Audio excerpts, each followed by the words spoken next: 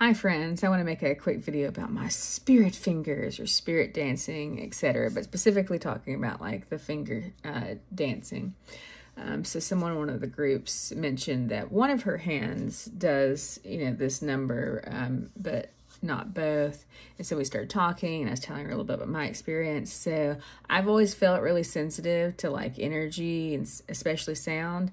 And for as much of my life, especially my adult life, as possible. I can remember like being in the car. You know, I do more than just tap, and um, and I usually would only do it by myself. But you know, like music would come on, and I'd like feel the music. You know, like sometimes I feel like I'm like a conductor, or whatever. Except it feels like not like I'm directing, but like responding and like feeling like the shapes of it and stuff. And there have been times where I thought maybe it was a form of like synesthesia, which I mean, like it still it could be.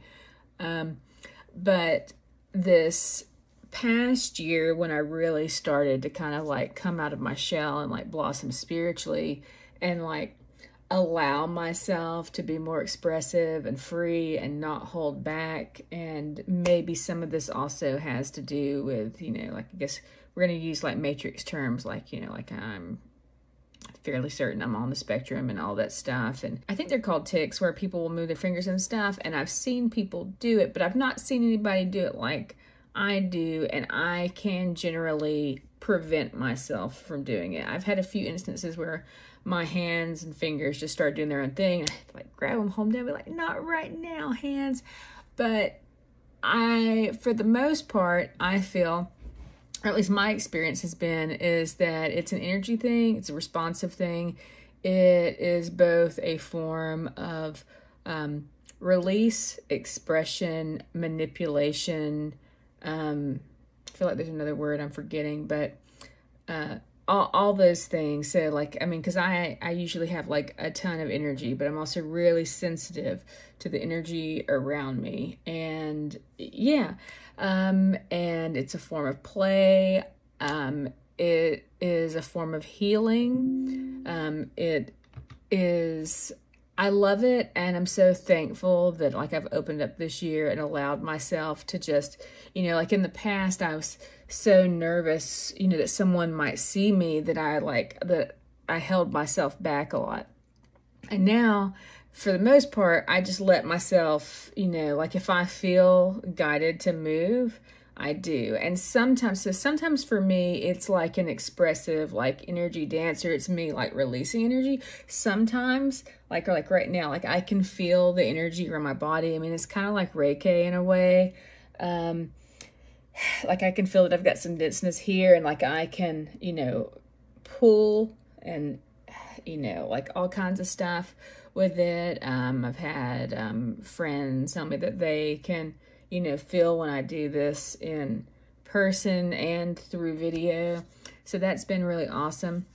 But even without the like healing, like energy um, stuff, I feel it's just a really beautiful form of like expression and it's even extra awesome when you get to that point where you can like feel the energy like around you because we all do have you know we're all energy and we've and we've got energy body. And you know i think i would think most people regardless of whether you are sensitive to energy or not i mean technically we're all sensitive to energy but you know sometimes it's feels like heat but it's more than that. Like i said like try putting your hand above your other hand or some part of your body and there'll there'll be a place where it feels magnetic.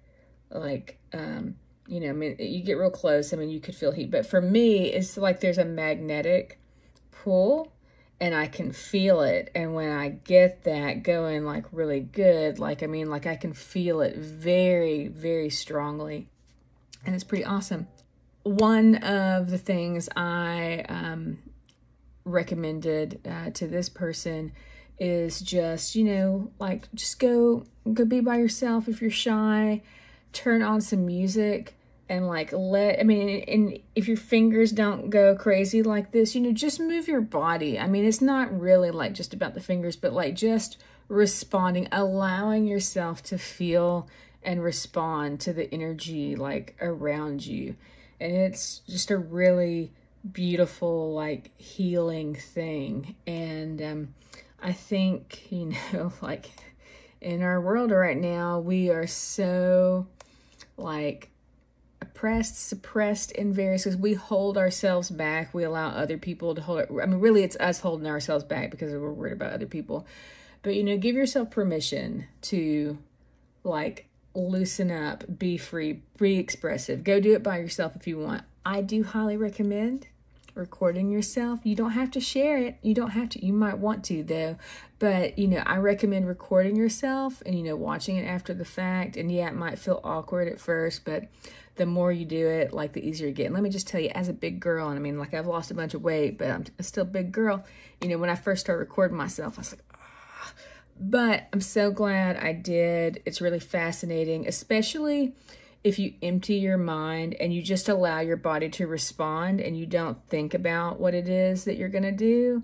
And for me, that's the part that I find really fascinating. I especially love to turn on music that I've never heard before and just see how my body's going to respond to it. You know, like, I mean, because when I loosen up, you know, like I just feel like spirits flowing through me and like guiding me. I mean, and some sometimes I know 100% that spirit is guiding me like I like cuz I channel and I can I can feel the connection and I can feel I mean cuz there have been times where I try to take over just, you know, usually just a test. I like to test things if y'all haven't gathered that by yet, and I'll try and test and you know, sometimes they let me take over.